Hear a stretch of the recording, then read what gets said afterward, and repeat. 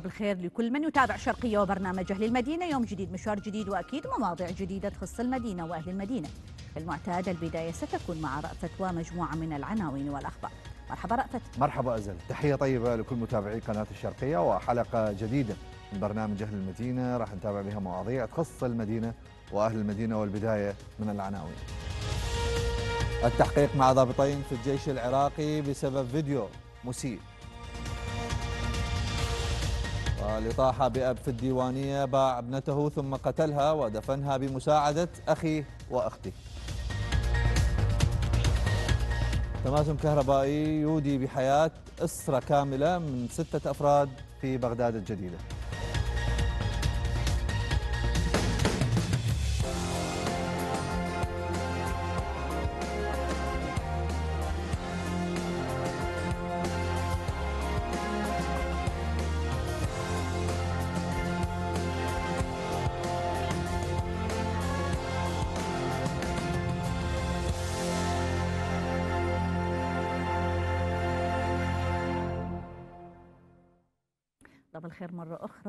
بالخير رأفت الله بالخير زين اليوم عندنا الكثير من القضايا حقيقة المهمة ويمكن من لأهميتها أيضا وضعت في العناوين. خلينا نبدي مباشرة من العنوان الأول أو الموضوع الأول الذي أثار جدلا واسعا وأثار غضب الجميع؟ يعني هذا بعد ما بي ما بي إنه يحتمل إنه الإيجاب والسلب. سلبي 100% وموضوع مؤلم حقيقة لأنه ظل يتكرر في الآونة الأخيرة. كنا نحكي حتى قبل الحلقة إنه كان سابقا حتى الموظفين حتى ما نقول بس العسكريين كل واحد إلى هيبته إلى قدسيته. يعني من يمشي بالشارع كان المعلم إلى وضعه المدرس الطبيب. فعلا. آه، ومن ضمنهم أيضا العسكري العسكري خو بعد إحنا الكل يخاف من عنده. يعني إضافة إلى الاحترام هناك خوف هناك رعب من من من هندامة ومن وضعة. في الآونة الأخيرة هي من ما بعد 2003 هناك صارت خروقات لكل لكل المفاصل مفاصل الحياة. كل شيء تغير عندنا المبادئ بشكل عام قد تغيرت للأسف طبعا نحكيها بألم. لكن أن توصل للرتبة العسكرية وتوصل للبدلة العسكرية توصل هناك إهانات غريبة عجيبة. مؤلم ما نراه لأنه هذه ال- المقاطع أو أو هذه هذا التصوير مو بس على يعني إحنا نشوفه وحتى نبرر له ممكن أو إحنا نداري عليه ونغطي عليه. هذا ينتشر بشكل كبير بين كل الدول وهذا ينطي مؤشر وانطباع إنه إحنا ضعفاء. يعني الناس تبدي تعرف إنه إحنا شنو شنو قيمتنا وشنو شخصيتنا وشنو وضعنا أو نقاط ضعفنا. فهذا هو المؤشر. هاي وحدة من الأبعاد المهمة اللي لازم نفكر بها إحنا كمواطنين من ننظر إلى العسكري ننظر إلى إنه هو حامينا هو المدافع طبعا. عنا. بس من نشوف هكذا مقاطع. وبهذا إحنا ما نتخيل إنه هو يعيش مثلنا طبيعي. صح. فإحنا المفروض نبقى بهذه النظرة. من أنت تشوفه بهذه النظرة الأخرى انت تحس إنه هذا يحمينا شلون يحمي أنا أحمي نفسي هو افضل أزل وأكيد أنه أكو مثل خاص بالمؤسسة العسكرية مم. يقول لك الخير يخص والشر يعم صح صح 100% وهم أعرف متفقين. الناس بهذا المثل صح. وبقصة هذا المثل مهم. يعني ما المفروض إنه يكون أكو تصرف لأنه أنت إذا جندي تصرف راح يسيء لكل المؤسسة العسكرية إذا ضابط أساء فراح يسيء لكل المؤسسة العسكرية إحنا مهم. مؤسستنا العسكرية مؤسسة مهمة جدا خاصة. بعيون الوطن العربي والعالم أجمع وآخرها كان حربنا مع داعش إنه شفتوا كيف كانت دول العالم والصحافة العالمية إنه تمدح وتنقل بطولات الجيش العراقي والأجهزة الأمنية المشاركة في هذا الحرب، فليش إنه إحنا نجي بسبب هذه التصرفات المسيئة ننزل من سمعة الجيش العراقي؟ هذه السمعة ما المفروض إنه تكون على جيشنا. إحنا ما نتقبلها على أي عراقي إن يقولون هذا العراقي سيء وهذا العراقي إنه تصرف بوحدة اثنين ثلاثة. هذه كل هالامور لازم نخليها على جنب. إحنا خلينا نركز بالاهتمام بالمؤسسة العسكرية ونعطي قيمة أكثر من القيمة اللي موضوعه للبدلة العسكرية وللزي الرسمي العسكري العراقي. هذه البدلة هي شرف. البيرية شرف. ال- ال- ال- الرتبة اللي مخليها على كتفك هي شرف. فأنت إذا تصرفت بإساءة راح تسيء لاسمك لشرفك لشرف العراقيين جميعا. وإحنا ما نتمنى إنه نشاهد مثل هذه الفيديوهات المسيئة، البعض يمكن راح يطلع يبرر راح يقول لا هو مبين تمثيل. وإن كان تمثيل فما المفروض إنه يمثل بالبدلة العسكرية، خلي يمثل بالزي المدني، خلي شي يسوي يسوي، خلي إنه عسى ما إنه يطلع خارج إطار المألوف، لكن البدلة العسكرية أو المكتب العسكري أو المؤسسة العسكرية هذه خط أحمر. مو فقط لدى وزارة الدفاع ولدى الحكومة العراقية بل خط أحمر لدى كل عراقي غيور وشريف ومحب لمؤسسته العسكرية وأيضا لبلد العراق. هذا الفيديو اللي أغلبكم شافه أيضا. نرجع نشاهده مرة ثانية. وإن شاء الله ما تكرر مثل هذه الفيديوهات. المسيئة واللي دائما ما تطيح بسمعة مؤسساتنا إذا كانت عسكرية أو حتى مدنية يا أخي يا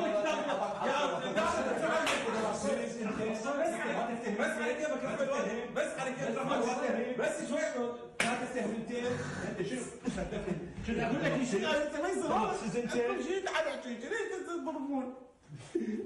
الله شغلك والله هسه راح يشتكي هذا خليه راح يشتكي والله ليش علي؟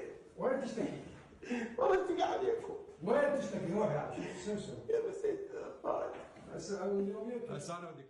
حرامات إنه تعب سنين وبطولات سنين تضيع بمقطع من ثواني بسيطة ولهذا يتم تشخيص الخطأ حتى ما يكرر مرة أخرى. طبعا يحسب أنه هناك طبعا تحقيق بالموضوع وإيقاف للضابطين آه، والكل من اشترك بهذه القضية. لكن هذا الموضوع يجب أن يعني الناس آه، آه، تعرف بتفاصيله. أرجع وأقول حتى لا يكرر ليس فقط مع العسكريين مع الجميع. أكو هناك أماكن حتى إحنا نشوف إنه هناك في داخل الصفوف يتم تصوير في داخل الإدارات في داخل المستشفيات أحيانا اقتحام خصوصية المرضى هذا خطأ. إحنا المفروض إنه عندنا إحنا مبادئ أكو ضوابط يجب أن نلتزم بها. لكن هذا الموضوع هذا نرجع ونقول هو خط أحمر لا يمكن العبث به لا يمكن أن يكون هناك شقة به أو مزح به أو حتى حقيقة بهذا الوضعية. حتى نعرف تفاصيل أكثر عن الموضوع وماذا حدث بعد الفيديو الذي أثار. أرجع وأقول غضب الجميع والكل اتفق على أنه سلبي وخاطئا 100% ينضم معنا سيد يحيى رسول الناطق الإعلامي للقائد العام للقوات المسلحة. أهلا بك سيد يحيى. إحنا نشكر انضمامك إلى أهل المدينة. سيادة اللواء هذا الموضوع مهم وقد أثر كثيرا أو يؤثر كثيرا على حتى المدى البعيد. إحنا مو بس هذا المقطع حتى نكون منصفين. يعني قبل الحلقة كنا نسولف بكثير من التفاصيل. هناك أمور المفروض يعني حتى التعليقات على مواقع التواصل الاجتماعي لما ما يكون واحد برتبة عسكرية وهو منزل على مواقع التواصل هو رتبته وصورته يعلق أحيانا حتى تعليقات مسيئة أو يدخل على بثوث خاصة بالنساء. بالتالي صارت حتى سمعة لل... يعني هذا الموضوع أتمنى أن يكون هناك بقوانين معينة بأوامر معينة. يبقى العسكري هو صاحب يعني وضع خاص. أتمنى أنه تؤخذ مثل هكذا أمور بعين الاعتبار على قد بساطتها لكنها تؤثر على سمعة آه، آه، القوات المسلحة. حياك الله سيادة اللواء. بسم الله الرحمن الرحيم. مساء الخير على ست أزل وعلى زميلي آه، قناتكم ولمشاهديكم الكرام. طبعا يعني أي شيء أتكلم به حقيقة هو اللي حدث هو مؤلم ومؤسف حق المؤسسة العسكرية. نعم. وأنا من شاهدت الفيديو حقيقة بصراحة انصدمت على التصرف اللي صار. وهذا ما مقبول جملة وتفصيلا. نعم. بالمؤسسة العسكرية جيش تاريخه 103 صح. سنة أعطينا دماء أعطينا تضحيات الرابط هو قمة في كل شيء اللي تعلمناه. أنا طالب بالكلية العسكرية دورة 73 وعملت أيضا معلم بالكلية العسكرية الأولى وخرجت عدد من الدورات واللي الآن هم برتبة عميد ورتبة لواء. لكن وكنا نعلم الطالب وتعلمنا. آه، الضابط يكون قمة ملتزم سياقات في كل شيء حتى في موضوع الأكل أو التدخين. ما مسموح لك انه توقف بشارع أو بمكان وتدخن أو تأكل إذا مو تدخل إلى مطعم. نعم. وكل السياقات الصحيحة والانضباط والضبط. وحتى بالدورات لو شاهدين حتى بالاستعراض اللي آه، أجريناه يوم 6 كانون الثاني. نعم. الصفوف الأمامية اللي كانت في كراديس الهرولة لرجال جهاز مكافحة الإرهاب والقوات الخاصة هم كلهم ضباط برتب ملازم ملازم أول. نعم. نعلم المقاتل ونعلم الجندي إنه الضابط قمة في كل شيء وهو أول من يضحي بنفسه صح.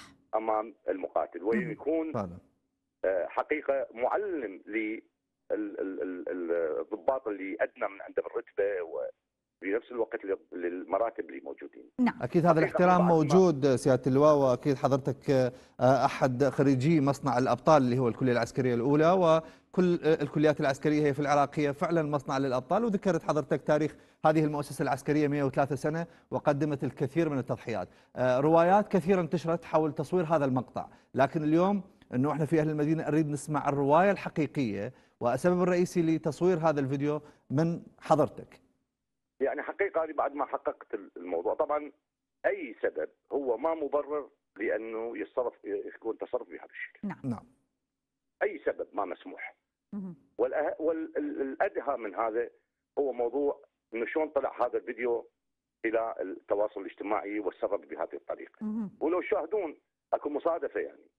أنا قبلها بساعه بساعة أو أقل تقريبا ساعة كان عندي بيان عن موضوع القصف.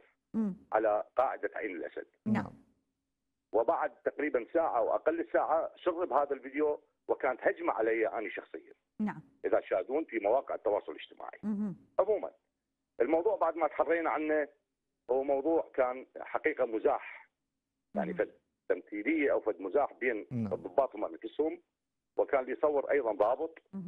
وكان يعني أقدر أقول إنه ابن أحد الضباط يعني شلون يسووا له فد آه، مزاح بيناتهم مشقة ودازي له هذا آه، داز له الفيديو أو أخذ الفيديو. من خلال تليفون ابوه وتم نشره.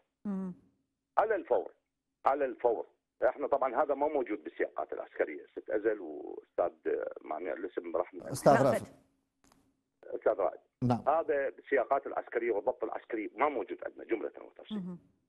يعني إحنا بالوحدات في كل وحدة وفي كل قيادة وفي كل تشكيل وفي كل فرقة وفوج أكو سياقات نعم. عسكرية وضبط عسكري مهم. صح ممكن تصير مجاملة يعني ممكن فد آه، نكتة أو فسالفه بكلام يعني بس لكن المفروض تكون نقطة. عن الزي العسكري وعن المكاتب العسكرية بعيدة. ومكاتب المؤسسة وعن التصوير التسويق. والنشر وماكو أي تصوير ماكو أي شيء اثنين مم. أكو نقطة مهمة مهم. إحنا قبل أيام السيد معالي وزير الدفاع والسيد رئيس اركان الجيش حقيقة وجهنا كتاب رسمي بغلق كل الصفحات التابعه للضباط ممتاز ب- آه، وبلشنا في موضوع رصد هذه الصفحات وسيتم غلقها. ممتاز ال- المحاسبة راح تكون آه، دقيقة وعسيره، يعني إحنا مرات ممكن مع احترامي للمقاتل العراقي البطل الجندي،.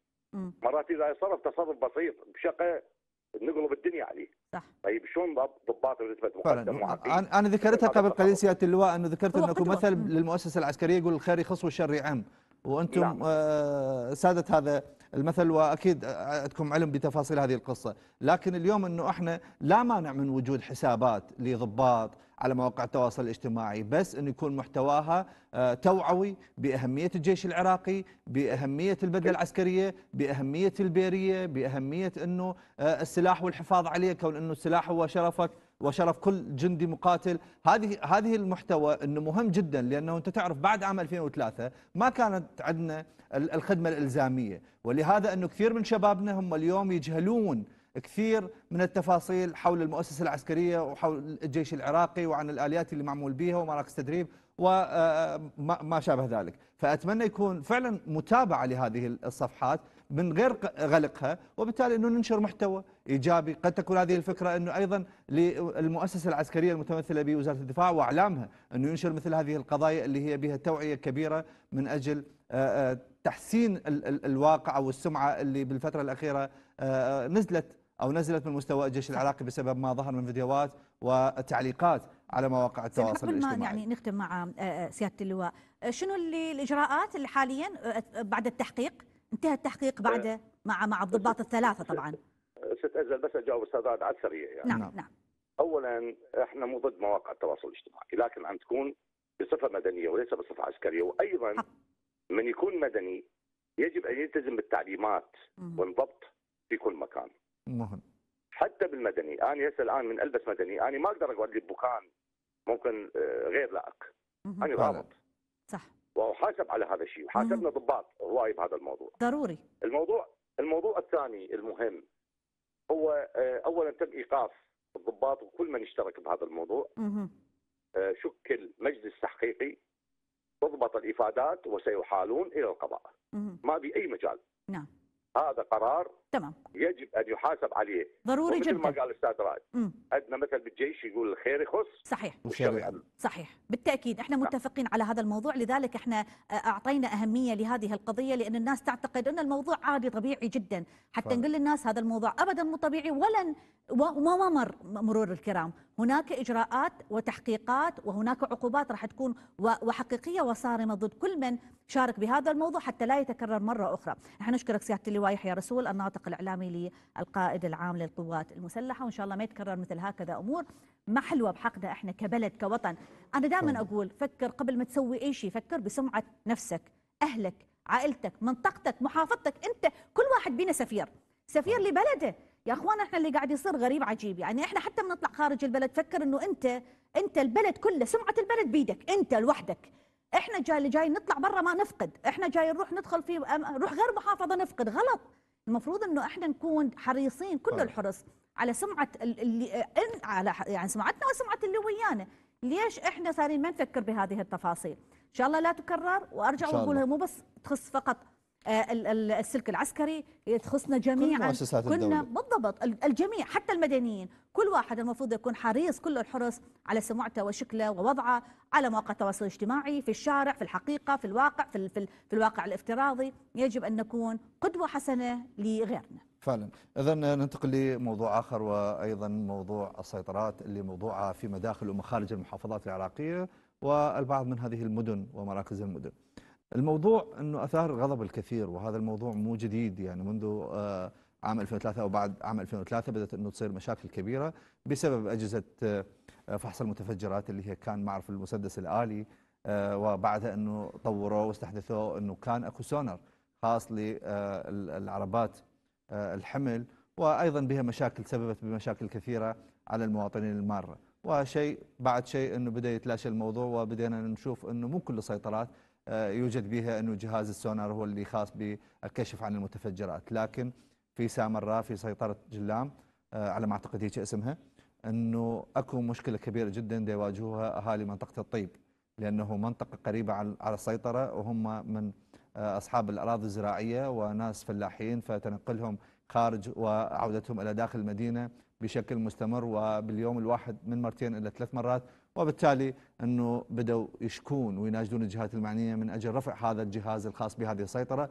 كون انه تسبب بالكثير من الأمراض السرطانية للمارين لأكثر من مرة في اليوم الواحد. راح نستمع لمعاناة الفلاحين المصابين وبعض أهالي هذه المدينة ونرجع لكم مباشرة.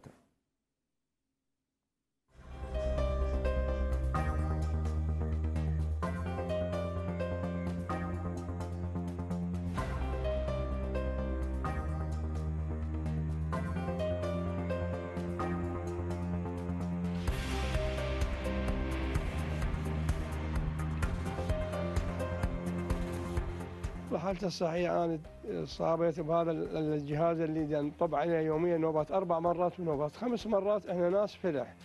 خارج مدينة سامراء يعني بالطيوب نروح ونجي يعني عندنا حلال نروح ونجي وعندنا نوبات نراجع الدكاترة. ننزل للسامرة فنمر أربع خمس مرات من قدام الجهاز ويجبرك ألا تمر على الجهاز. الجهاز هذا مال السونار مال دخول سامراء فأذان أذية. أنا صابيت بورم بالراس سويت عملية ببغداد. رديت سويت عملية ثانية بسليمانية مستشفى الفاروق الأهلية. لا دكتور ماكو هنا ما أبد مو حتى بصراحة المدينة ما بيها. ودي نضرب هاي آخر شيء آخر شيء حولونا من سليمانية قالوا أنتم فقط سكنة سليمانية العلاج الكيميائي ترجعون لمحافظاتكم. فأنتم أقرب شيء مديرة الصحة حكي السليمانية يقول مديرة الصحة كاتبة بس فقط سكنة سليمانية العلاج الكيميائي المصابين اللي بالسليمانية فرجعنا لبغداد نضرب هسه شعاع آه، ببغداد مستشفى الأندلس الأهلية. هاي كلها مصاريف. كلها مصاريف. والله دكتور بالنسبة لنا شو اسمه 8 ملايين إخذوا بس الإشعاع 30 30 جلسة. 8 ملايين. والله بالنسبة لي أنا سكنت منطقة الطيب موظف في شركة صلاح الدين و...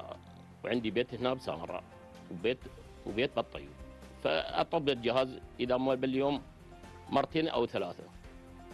فانصابيت بمرض سرطاني برئة ورم سرطاني برئة. راجعت المستشفيات ببغداد قالوا ما عندنا هذا لا يرهم له رفع بعملية ولا يرهم له إشعاع ما عندهم إشعاع بالعراق. فاضطريت بيعت بيتي ورحت للهند. سافرت للهند أخذت إشعاع ست جلسات اشعاع نووي. ولحد الآن مستمر على العلاج الأشعاع والعلاج البيولوجي. حاليا دا استمر يوميا كبسولة كبسولة. فبيتي ما كفى حتى عندي قطعة بعتها مال موظف ور- ورجعت بها كل ست اشهر عندي مراجعة. وزوجت خارج العراق. كل ست اشهر لازم متابعة وآخذ علاج مستمر عليه. كل سنة كل ست اشهر ال- العلاج أبقى مستمر عليه. كم واحد يصاب من عائلتك؟ عائلتي أنا زوجتي. هم مصابة بالغدة وسويت لها عملية بالشمال. هم اضطريت هنا ما سويت لها عملية بالشمال بس ليمانيا واخذتها بكبسولة كبسولة اليود المشع مستشفى الأندلس. 3 ملايين يلا بس كبسولة واحدة. وهم متابعة راحت شهر اخذت تحاليل وهذا وأرجع بعد شهر هم أرجع نفس الحالة. كم مرة تمر على هذا؟ والله باليوم مرتين ثلاثة. أو أربعة وأكثر فنرجو من القوات الأمنية رفع هذا الجهاز على المضرة اللي كنا. بس منطقتي أو قرايبي 10 مصابين أو إلى 12 مصاب من هذا الجهاز.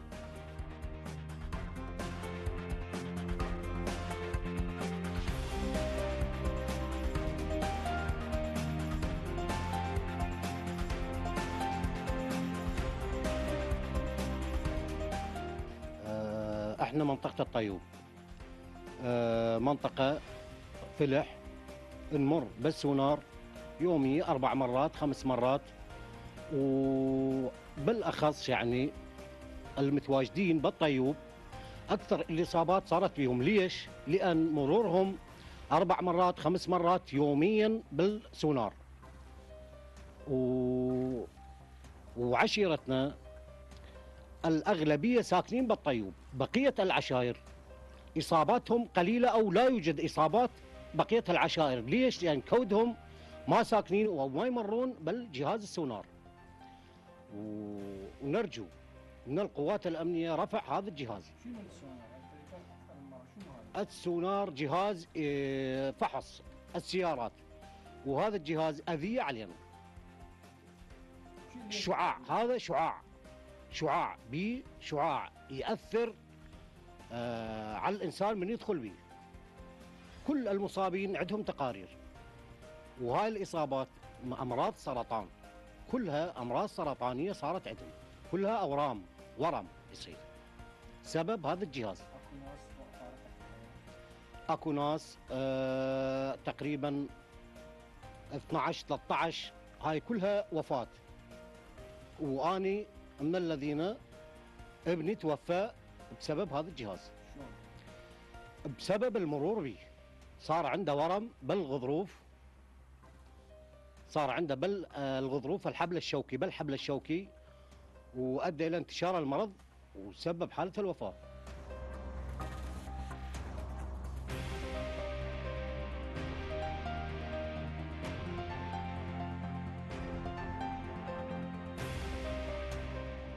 الإصابات منطقة الطيوب منطقة حول البساط خصوصا. زين من اسمه من الجهاز السونار. أنا من أنا من الناس ابني انصاب كان يطب النهر به أقل شيء أقل شيء أربع مرات. وانصاب صارت عنده ورمه على القلب مال أذان القلب. زين منتشر به بكل قلبه؟ الجهاز جهاز سونار آه، بشعاع مسلطن. زين نرجو من القوات الأمنية رفع هذا الجهاز ويصير تفتيش يدوي. يعني أكو بدائل. أكو بدائل. يقدر يفشون تفتيش يدوي. قبل كان ال- ال- الوضع الأمني إرهاب ومشاكل كثيرة. هسه ماكو الحمد لله. الوضع الوضع زين. أمان زين. يقدرون يقدرون يفشون تفتيش يدوي. زين؟ وأغلب المناطق أغلب المنطقة منطقة نحن منطقة الحاوي. يعني إحنا ساكنين خارج سامرة. ناس فلح. على باب الله نروح نجي السامرة. يعني ونفوت من جوا هذا السونر نطالب برفعه. أحد فقد من عندكم تمرض؟ إي نعم زوجي. شلون؟ زوجي تمرض صار عنده مرض براسه. ونروح ونجي يعني من جوا السونر. إحنا على باب الله نطالب برفع السونار فلح. أكثر من خمس مرات ست مرات ورجع يعني ونفس الحالة. وقالوا لنا يعني هذا السونار يعني ما يدخل جوا أي أشعة ما يدخل جواها؟ لأن هي تسبب الخلايا السرطانية.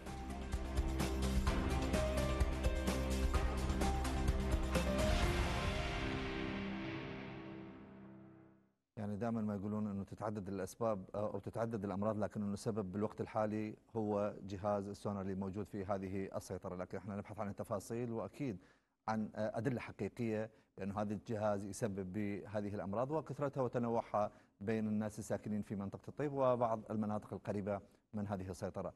نروح لي حتى نسولف بتفاصيل أكثر ينضم لنا الدكتور حسين خضير محمد رئيس قسم الفيزياء في كلية العلوم جامعة تكريت. حياك الله دكتور. الله يحييك أنا أشكركم وأشكر كادر الشرقية حياك الله الدكتور دكتور بداية هل فعلا إنه هذه الأجهزة اللي هي خاصة بالكشف عن المتفجرات قد تسبب أمراض سرطانية واليوم لدينا الكثير منها في المحافظات العراقية. نعم. الحقيقة أنت سألتني سؤال يعني يعني هو جوهري لكن بحقيقه الامر يحتاج تفصيل. إحنا ما نعرف هذه التكنولوجيا لكن قبل التكنولوجيا وطبيعتها لازم نتحدث عن أسباب التلوث البيئي، أسباب التلوث البيئي قد يكون بيولوجي وقد يكون كيميائي وقد يكون فيزيائي. نعم. الفيزيائي هو اللي جاي نتحدث عنه الآن اللي سالتني عنه وهو المصادر المشعة. نعم. فالمصادر المشعه تنقسم بالتأكيد إلى قسمين طبيعية اللي هي موجوده بالطبيعة مثل اليورانيوم وغاز الرادون. هذه المصادر يعني ما يتعرض لها إلا العاملين بها، يعني مثلا اللي يشتغلون في استخراج النفط أو غيره، لكن الآن إذا نتحدث الآن عن المصادر الصناعية وهذا الفقرة هي جزء اللي جاي تحدث حضرتك عنه. نعم. مثلا الأشعة السينيه على سبيل المثال الاكس راي اللي جاي نستخدمها أو مثلا نعم. المصادر اللي جاي يستخدمونها مثلا في علاج السرطان قد تكون علاج لمعالجة الأورام. دكتور أيضا دكتور يعني اسمح لي يمكن إحنا بجوز نفهم كلامك لكن إحنا جاي نخاطب العامة إحنا سؤال واحد هل هذا الجهاز يسبب هم قاعد يحجون بالنص إحنا نعبر على هذا الجهاز أكثر من مرة باليوم وسبب لنا السرطان هل صح لو لا ما أقدر أجزم ما أقدر أقول 100% لكن اتهمه 75% يعني خلص هاي يعني نسبه أكيد موجود. نسبه نسبة كبيرة لعد معناتها. نعم لأن هو جهاز كشف فعادة اجهزه الكشف هي مثل الإكس راي يعني ليش اعطيتك مقدمة حضرتك؟ لأنه هذه الأشعة أشعة الكشف تستخدم مصادر مشعة حتى تخلق المواد. طيب. فهي من تخترق هذه المواد طيب طيب يعني طيب إحنا راح نسألك شيء أيضا باختصاص. مو المفروض ان هم ينزلون من السيارات ويتم تفتيشها؟ هم قاعد يبقون في داخل السيارات. هاي واحدة من النقاط المهمة. وهناك كتب حتى هي مكتوب عليها كتب هي سرية لكنها تعرف إحنا بالبلد ما عندنا شيء سري. يقال أكثر من مرة ان هناك إصابات كثيرة في هذه المنطقة بسبب هذا الجهاز. اذا هناك أكثر من مؤشر على أن هذا الجهاز هو مسبب للسرطان. بالتأكيد. هذه فقرة نقطة جدا مهمة. انت بتروحين تسوين أشعة؟ يسمحون الواحد آخر يطب؟ لا. داخل الغرفة والحجره نعم ليش أكيد لا. حتى هو المريض حتى المريض لا يخضع لهذه الأشعة أكثر من مرة. يسألون. نعم. طبعا. نعم زمن التعرض له تأثير. شدة الإشعاع وزمن التعرض هما الشيئان المهمان. طيب مع كل هذه المعطيات دكتور أنا آسفة بس حتى نستغل الوقت. مع كل هذه نعم. المعطيات ليش هناك إصرار على بقاء هذا الجهاز؟ أو عدم فحصة من قبل مختصين؟ هل هو يسبب لو لا؟ إصابات بالعشرات بقاء والشك مجرد إنه أنا شاكة إنه أنا جاي هذا الشيء يمرضني وعدم الإصغاء للناس شنو مبرراته تتوقع؟ كطبيب ما أعرف يعني أو كمختص بمثل هكذا أمور. هذا السؤال لا يوجه لي. لأنه أنا أكاديمي أنا رجال أكاديمي يعني إحنا نريد أنا... نوصل إلى حل الحل إنه يجب أن تكون الجهات الرقابية تخضع الجهات الرقابية وترجع بهذه الأمور إلى أهل الاختصاص طيب, طيب دكتور عذرا عن المقاطعة في كلية العلوم في جامعة تكريت هل لديكم دراسات حول هذه الأجهزة والمسببات الخاصة بأمراض السرطان للناس المارة؟ يعني أنتم تبحثون تعملون على هذا الموضوع لو إنه خلاص بعيد عن اختصاصكم؟ والله هذا الموضوع حقيقة أنا أول مرة يتطرق ولكن هو حقيقة مثير للانتباه. نعم. وأكيد إحنا ما دام إنه اثرنا انتباهكم فنتمنى المتابعة من أيوة قبل حضراتكم كون إنه أنتم كلية علوم وخاصة قسم الفيزياء في جامعة تكريت الدكتور حسين خضير محمد شكرا لانضمامك وأعطاك هذه التفاصيل حول مسببات آه، انتشار آه، أمراض السرطان في صلاح الدين وبالتحديد في قضاء سامراء يا رب بردا وسلاما على كل. العراقيين وإن شاء الله آه، الأيام. القادمة أن تكون هناك دراسات بحثية قوية من قبل آه، أصحاب الاختصاص حتى نتخلص من كل هذه المسببات إذا كان تلوث بيئي مثل ما ذكر أنواعه وإحنا دائما ما نتحدث بمواضيع أخرى منها شركات النفط اللي عاملة في العراق واللي هي تستخرج النفط بطريقة بدائية قد تكون هي المسبب الرئيسي بانتشار هذه الأوبئة وهذه الأمراض السرطانية آه، في آه، جميع آه، أشكالها. آه، نتمنى فعلا من الجهات الحكومية أن تدرس هذا الموضوع وإذا اتاكد يا ريت انه ترفعون هذه الأجهزة وتعتمدون على أجهزة أخرى للكشف عن المتفجرات أو عن المواد المحظورة والممنوعة في العراق. وأرجع وأقول بردا وسلاما لجميع العراقيين. أو على الأقل أنه تجبرون ال- ال- الناس أو المواطنين أن ينزلون من ال- من السيارة ومن المكان حتى ويبتعدون مسافة وحتى طبعا خطر على القوات الأمنية تستخدم طبعا هذا الجهاز.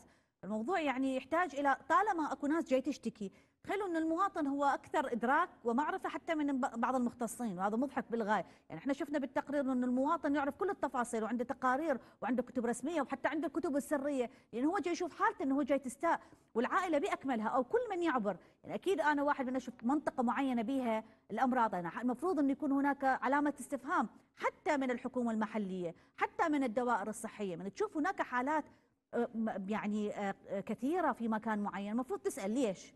هنا شنو عندهم؟ الماء ملوث الهواء ملوث أجهزة معينة. نعرف إحنا هذا البلد. إلا الناس هي تشتكي وإلا الناس هي تحكي وإلا الناس ما موضوع فعلا غريب. فعلا. على العموم الموضوع اللي راح نحكي به والله هسه الجاي يعني غريب عجيب. ولو أنا أرجع وأقول ماكو شيء غريب وعجيب في هذا البلد لكن إحنا نبقى نتعجب لأنه ما كان هكذا البلد.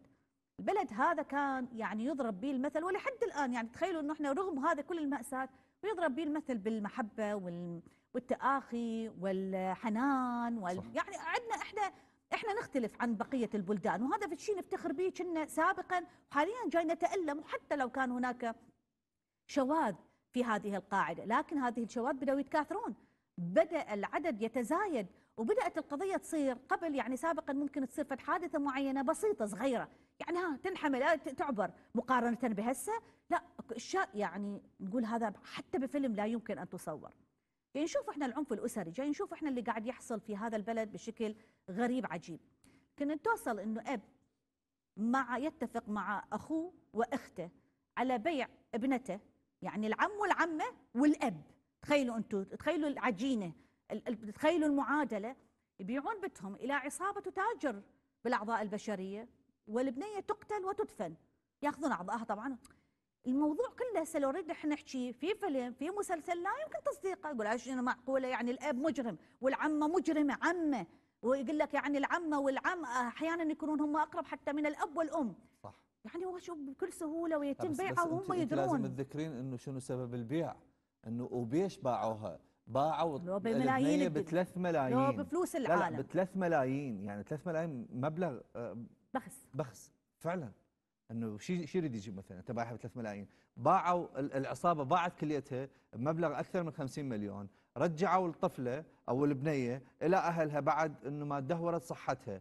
من شاف الوالد إنه صحتها تدهورت وهو غير قادر على إسعافها أو إدخالها لإحدى المستشفيات قام بقتلها. اتصل بالعم والعمة وبعدها إنه إجوا وخذوها ثلاثتهم دفنوها في مكان بعيد. هذه كارثة. بحق المجتمع العراقي كارثة بحق الأبوة كارثة بحق الإنسانية. أنت اليوم إذا غير قادر على إدارة ملف عائلتك فليش تتزوج؟ ليش إنه تخلف؟ ليش إنه تطلب من الله سبحانه وتعالى إنه يرزقك بالذرية؟ طيب إنه رزقك. خير يعني بهذه الطريقة تتعامل مع ابنية وأنا متأكد إنه أنت هسه ما أريد ندخل ببعض التفاصيل الأمور تصلي وتدعي ويا رب ويا رب وانت من جوا الجوا إنه تأذي عائلتك وتعامل عائلتك بهذه الطريقة البشعة اللي نشاهدها خاصة في هذه الأيام الغريبة اللي تمر على العراقيين. الموضوع أرجع وأقول هو غريب في تفاصيله وإحنا ما كنا هالشكل. إحنا صرنا يعني صار واحد يخاف ليش؟ لأن. المجتمع أحيانا يصدمك. جزء بجيرانك جزء من عائلتك. فبات الموضوع مقلق إنه أنت تعيش ممكن مع ناس مجرمة وأنت ما تحس بيهم إلا بعد ما تصير الجريمة. حتى نعرف تفاصيل أكثر عن هذه القضية انضم معنا مراسلنا من هناك علي قحطان. أهلا بك علي. صراحة الموضوع مخيف لأنه من هذا يهدد مجتمع يهدد الأسرة نفسها. أن تجد آه، فتاة نفسها مبيوعة وبعدين ترجع ويقتلوها ويدفنوها. كأنما حياتنا إحنا كلتنا في خطر من الممكن أي واحد يتلاعب في مصيرنا. حياك الله علي. أزل رأفت حياكم الله. حياك الله. الحادثة أغلب التفاصيل الحادثة ذكرتوها قبل قليل وأيضا الحادثة هي لم تكن وليدة اليوم وإنما حدثت قبل أكثر من أسبوعين. مهم. لكن السبب التكتم على الموضوع بسبب سرية ال- يعني العملية اللي آه، نفذها مجموعة من الأمن الوطني وبشكل من مدير مديرية الأمن الوطني في الديوانية نعم. حتى يوصلوا لبقية أفراد هذه الشبكة اللي راح ضحيتها طفلة الطفلة بيعت آه، آه، لأحد السماسرة في أربيل عن طريق عمتها عمتها نقلتها إلى أربيل مهم. آه، وهناك تم إجراء عملية نقل كلية لهذه الطفلة الوالد باع الطفلة بمقابل 3 ملايين مهم. الكلية بيعت مقابل 50 مليون بعدها يعني أحد هم كانوا يدرون يعني آه، آه، علي كانوا يدرون ان هم راح يبيعونها إلى عصابة تتاجر بالأعضاء البشرية يعني ممكن يبيعونها كمتسولة كخادمة مثلا. يعني ممكن ممكن. شفنا واحد آه. آب مثلا ودى بناته للملهى حتى يجيبوا له فلوس. لكن إنه تباع كشخص راح يموت كيقتل يجزأ هذا جديده آه، كل الدلائل تشير على أنها بيعت للمتاجرة بالأعضاء البشرية والسبب الرئيسي ذكرته آه، مديرية الأمن الوطني بأن والدها كان متعاطي للمخدرات. فهذا السبب اللي يخلي إنه يبيع الطفلة عن طريق بالتعاون مع عم. الطفلة وعمه الطفلة. هسه الأب متعاطي. وسلمت لأحد السماسره الأب متعاطي نعم. العم والعمة شنو وضعهم؟ شلون وافقوا ان يشتركون بجريمة بشعة مخيفة؟ بعد بعد إرجاع الطفلة وتدهور حالتها الصحية وقتل الطفلة من قبل والدها بعدها اشترك آه، عم ال- ال- ال- الطفلة ب- بدفن هذه الطفلة أها. لكن الذي نقل الطفلة إلى أربيل هو والد آه، عمة ال- ال- آه، يعني- الطفلة يعني الكل- مع الكل عندهم، آه، نعم. آه كلهم عندهم علم آه علي آه عذرا. المقاطعه آه أنا. أريدك تسترسل لكن إنه بس أريد تذكر لي إيش قد عمرها ضروري واسترسل كمل لم يذكر عم- عمر الطفلة آه، رأفت لم نحصل على معلومات على عمر الطفلة لكن أريد آه، ل- ل- ل- يعني حتى نكون منصفين والاشاده وردود الأفعال اللي ولدتها هذه الجريمة أها. مع مع آه، يعني ردود أفعال غاضبة. هنا في الديوانية كانت هناك اشاده بالعملية النوعية اللي نفذها مجموعة من ضباط الأمن الوطني وبسريه آه، تامة آه، من خلال جمع معلومات وانتقالهم إلى بغداد ونصب كمائن هناك في العاصمة والقاء القبض على ثلاثة أشخاص والعودة إلى الديوانية. مهم. وحصولهم على معلومات أيضا والذهاب لبغداد من أجل استدراج المرأة من اربيل لبغداد ولمدة ثلاث ليالي متتالية. وفي اليوم الثالث أيضا تم إلقاء القبض على آه، هذه المرأة هي وابن شقيقتها وإحضارهم لمحافظة الديوانية. بالتالي اكتملت كل عناصر هذه الشبكة التي أودت بحياة هذه الطفلة، ردود. أفعال إيجابية حول هذه العملية اللي اللي آه، نفذت بإشراف مباشر من قبل مدير مديرية الأمن الوطني وأيضا كانت هنالك آه، آه، على مواقع التواصل الاجتماعي آه، آه، جميع يعني ما ما ما كانت من آراء حول الإشادة وأيضا طيب آه، هذا بما يخص بما يخص الإشادة بالعناصر الأمنية وعملهم آه، آه، نعم. الجيد بإلقاء القبض بأيام قليلة جدا، لكن إنه احكي لي على ردود الفعل السلبية تجاه هذه الجريمة البشعة اللي يمكن تأثر سلبا مو فقط بالديوانية بل في آه، كل المحافظات العراقية. شلون استقبلوا أهالي أهالي الديوانية لهذه الجريمة؟ جايك بالحديث رأفت بعد بعد يعني ردود الأفعال الإيجابية حول العملية كانت هناك مطالبات بوجود يعني توعية من خلال ال- ال- المنابر الدينية وأيضا المنظمات المجتمع المدني للحد من انتشار هكذا ظاهرة، السبب الأول ل- ربما آه، والد الطفل المتعاطي ربما أجبر على بيعها بهذا السعر وكان هذا رايي، الراي الآخر يطالبون القوات الأمنية من. من آه، يعني تطبيق آه، آه، قرارات صارمة بحق المتاجرين ولمنع أيضا تكرار هذه الحالات، حدثت جرائم سابقة في الديوانية لشاب أيضا متعاطي قام بقتل آه، والدته وجرائم كثيرة كان سببها هو المتعاطي، بالتالي تفعيل القوانين مواطنين طالبوا بتفعيل قوانين صارمة وتطبيقها أيضا على آه، آه، من يمارسون هكذا نوع من الجرائم وخصوصا آه، لدى ال- الأطفال. إحنا نشكرك مراسلنا من هناك علي قحطان ضروري جدا حتى نحمي نفسنا. أي عائلة عندهم متعاطي فهذا مجرم. في أي لحظة من الممكن أن يصبح مجرم وقاتل ويبيعك وما تدري بنفسك. ولذلك لا تتستر على المتعاطي بل حاول حتى لو بطريقة سرية أن تقول أنه عندنا متعاطي. حتى لو تخلي توصل من صديق الصديق من قرايب القرايب إنه تقول عندنا متعاطي ويجون يأخذونه يلقون القبض عليه أفضل بكثير مما انه يسوي م... قد يكون جريمة وأنت تكون أول واحد بيه. يبدي بيك آه، اللي ابن بيتك يعني أو في بيتك. فأتمنى أن الكل يتعاون بهذا الموضوع المتعاطي لا يمكن التستر عليه. أكو كثير آباء وأمهات يتست- يسترون على أولادهم يخافون عليهم. لا ودوه لأقرب مركز خليه يتعالج لأن هذا مجرم متحرك ما تدرون. باي لحظة ينفجر وقد يكون هو مجرم خطير كما حدث حاليا في حادثة الديوانية. فعلا. باكر نكمل بقية الموضوع. حقيقة ما كنت أتمنى نختم بهالشكل. موضوع مخيف ومرعب ويخلينا كلتنا في خطر كلتنا في تفكير عميق. ما الذي يحدث حاليا في هذا البلد؟ علينا انه إحنا نراجع على المختصين على الجهات المعنية على الحكومة. كل هذه هي يجب أن نبحث في أسبابها وعلى رأسها موضوع المخدرات. باكر نكمل بقية المواضيع. هذا كل ما كان عندنا اليوم في أهل المدينة. نتمنى دائما نلتقي على الخير والمحبة والسلام على وطن سالم ومعافى ومنتصر. في أمان الله. اذا وصلنا لكم لختام حلقتنا لهذا اليوم. شكرا لكم. إلى اللقاء.